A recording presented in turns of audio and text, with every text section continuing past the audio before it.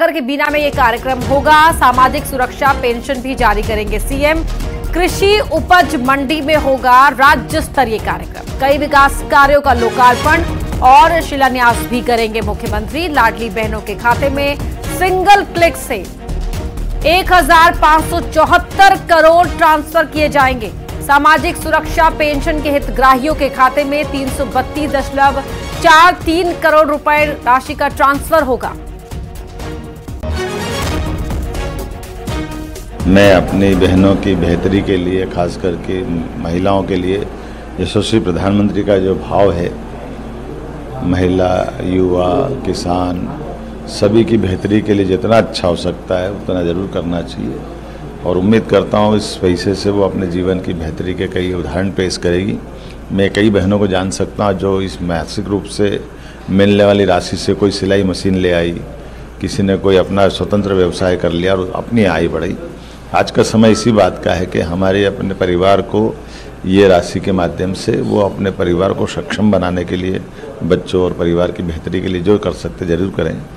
एक बार फिर मैं आज बीना से इस राशि को डालूँगा। आइए हम सब मिलकर के महिला सशक्तिकरण की दिशा में सरकार के साथ कदम से कदम मिला के चले। शैलेंद्र भदौरिया हमारे सहयोगी, हमारे साथ लाइव जुड़ रहे हैं इसी खबर पर। शैलेंद्र, आज एक क्लिक से एक करोड़ रुपए सरकार की ओर से ट्रांसफ़र कर दिए जाएँगे।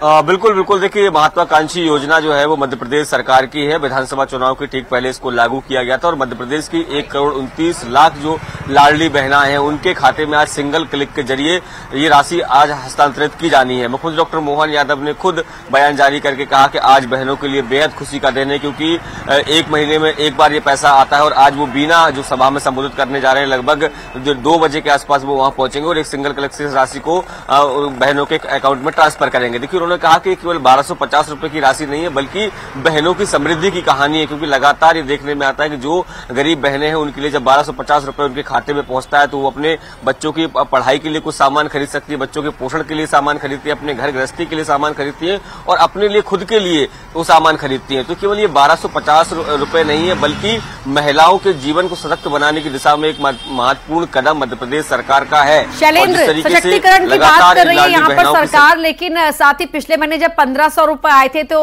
ये सवाल भी उठ रहा था कि अब धीरे धीरे क्या सरकार इस राशि को अपने जो वादे के मुताबिक बढ़ाने जा रही है?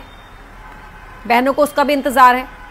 देखिए बिल्कुल देखिए ये, ये ये बात बिल्कुल सही है कि जब ये योजना लागू की गई थी उस वक्त ये बात कही गई थी कि हर साल या हर छह महीने में इसका रिव्यू किया जाएगा और राशि को बढ़ाया जाएगा। लेकिन अब तक केवल एक बार ये राशि बढ़ाई गई एक हज़ार रुपए से शुरुआत की गई थी उसको बाद में बढ़ाकर बारह किया गया।